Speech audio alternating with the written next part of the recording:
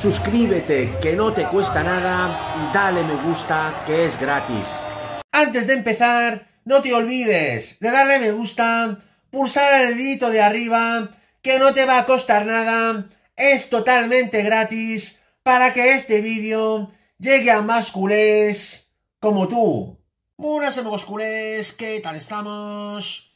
Voy a empezar este vídeo como casi siempre con la actualidad de nuestro Barcelona. Cambio de las fechas en las semifinales de la Supercopa de España de Arabia Saudí. Vamos a por ello. Pues bien, cambio de fechas en las semifinales de la Supercopa de España. La Real Federación Española de Fútbol altera el orden de los partidos por los contratiempos ocasionados por la Dana. La Federación Española de Fútbol ha anunciado este martes que el juez único de competiciones no profesionales ha resuelto alterar el orden de los partidos de semifinales de la Eurocopa de España por los contratiempos ocasionados por la Dana.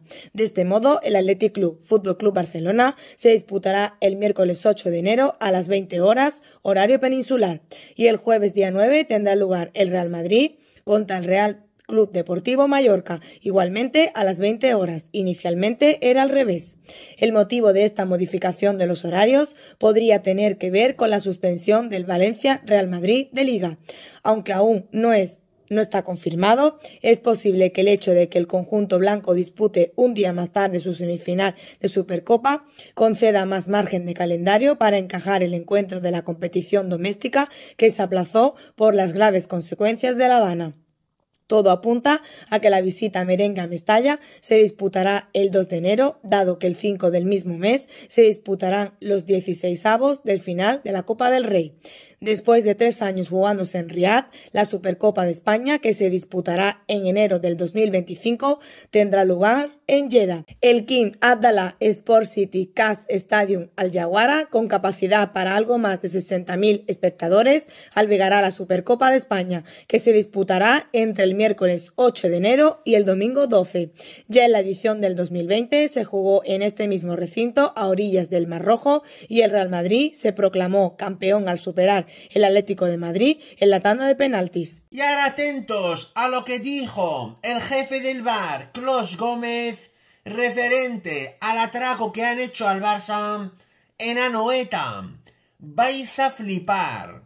Vamos a escucharlo paga y vámonos, no la cuestionamos. Lo mismo que en el ojo de halcón, lo mismo que... Lo que digo es que en la imagen que ponéis en este fuera de juego, no queda claro cuál es el pie de uno y de otro. Eso es lo que he dicho, nada más. Simplemente lo que digo es, ostras, si, comparas la imagen de la recreación digital con la imagen natural del, del juego, del partido, ves la bota de Lewandowski y dices, ostras, para empezar ponéis las cuatro negras, las cuatro botas negras, para que eh, cuando en el campo no es así. Sin embargo, los uniformes los ponéis cada uno de un color. No sé si esto es aleatorio o es casualidad o simplemente... Pero podía haber ayudado, podía haber ayudado que hubieseis mantenido el, el, color de los uniformes y también el color de las botas. Pero ponéis las cuatro negras y nos hemos quedado, la gran mayoría, excepto tú, que me alegro que lo veas tan claro, que hemos dicho, ostras, ¿y de quién es esa bota negra? Sí, podría haber ayudado, evidentemente, que la, bota estuviera de otro color. Eh, en los partidos de fútbol. Vamos, tal y como está en el campo, no, no que la pintéis de otro color. tal y como está en el campo. de los jugadores son los mismos, por lo tanto, si alguna vez la parte más adelantada eh, fuera la cintura, eh, podría ocurrir que en el campo también ocurriera lo mismo y replicando lo mismo, podríamos tener igual dudas. Si el mayor problema es que las botas en la recreación son del mismo color, probablemente. Coño, lo justo para no saber, coño, lo justo, perdona, perdona Carlos, perdona Carlos, perdona. Si el problema es que las botas son del mismo color, es lo justo para que no sepamos de quién es el pie negro, si de uno o de otro. Justo, exactamente. pues ese es el problema. Es que justo ese es el problema. Que, está, proporcionando, la tecnología está proporcionando la información.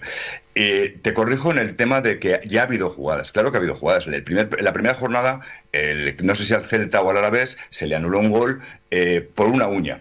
Pero estamos hablando de que es el Celta o Alavés, no es el Barcelona o es el mm. Madrid. Eh, a la tercera jornada, aún no recuerdo el partido, creo que también estaba el Alavés por medio. Fue al revés. En un caso se le, la tecnología le favoreció y en otro le perjudicó. Eh, también hubo una, recreación al límite. Evidentemente no levanto esta polémica, te vuelvo a repetir, porque no estaba en el Madrid, ni el Barcelona, ni en Atlético Madrid. Por lo tanto, bueno, pues es algo que esperamos. Ya, eh, ya, tocaba. Y si no tocaba ahora, tocaría dentro de dos semanas o dentro de dos meses. Bueno, pues afrontémoslo. No, no lo, parte del mundo del fútbol no se va a creer esto cuando la tecnología vaya en contra de sus intereses. Este mismo equipo eh, una semana antes, al, equipo contra el que juega, que era el español, se le anulan dos goles con esta misma tecnología.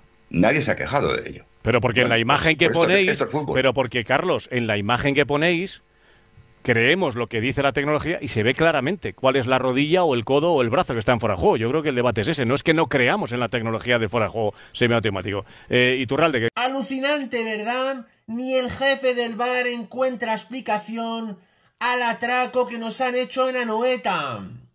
Ojito que este tema es muy grave y no se va a quedar aquí. Es información no opinión. Seguimos con la última hora de nuestro Barça. Ansu Fati no despega. Vamos a por ello. Pues bien, Ansu Fati no se engancha. El atacante formado en la Masía sigue buscando su mejor versión y cuenta por ahora con la confianza de Hansi Flick como revulsivo. Qué ganas tenía y tiene el barcelonismo de ver la mejor versión de Ansu Fati aquel adolescente imberbe que irrumpió en 2019 una época oscura con una virulencia inusitada.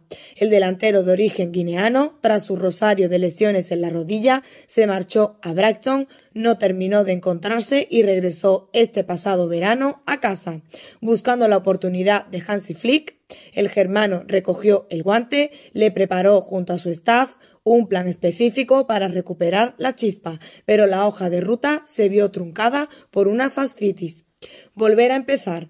Una vez recuperado, el atacante busca desesperadamente recuperar el tono, pero la sensación continúa siendo que no es capaz de adquirir esas revoluciones y ese ritmo que requiere el contexto cuando entra de refresco en un encuentro con las pulsaciones altísimas. Oportunidades caras. Son unas cuantas ya las oportunidades que le ha dado el técnico de Heidelberg y en ocasiones ha parecido que sí, pero no termina de dar con esa constancia. De ahí que sus apariciones hasta ahora hayan sido fugaces e inconstantes, porque Flick no tiene por ahora la sensación de que Fati sea capaz de cambiar el guion de partidos u ofrecer algo distinto para romper las defensas reales. El pasado domingo, en el Real Arena, disputó el jugador formado en la Masía de 25 minutos, con el partido roto, con el Barça lanzado buscando con más corazón que cabeza el empate, un contexto que podía ser favorable para que apareciera un chispazo del 10 pero sigue estando un par de marchas por debajo de lo que exige el encuentro. Sí hubo un par de destellos, de recortes esperanzadores, partiendo desde la izquierda, pero se vio sobrepasado por el oficio y la intensidad de la defensa Churi Urdin.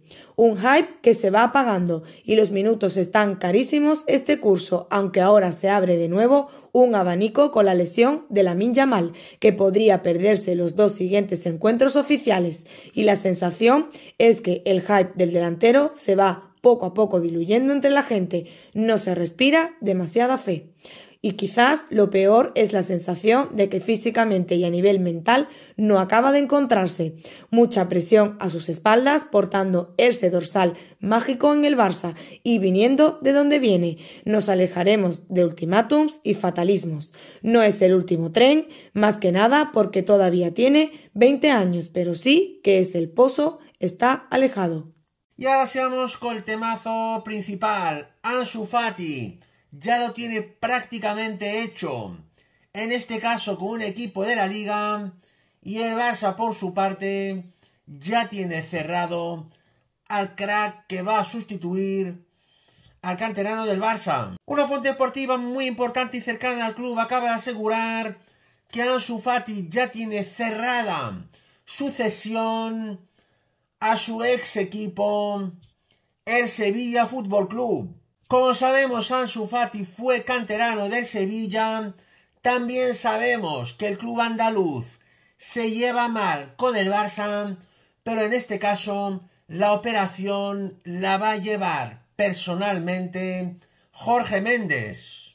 La operación va a ser la siguiente. Ansu jugaría en el Sevilla, cedido a partir del mes de enero, con opción de compra para el verano del 2025. El Sevilla va a asumir media ficha de Ansu Fati. Pero ahora viene el verdadero bombazo.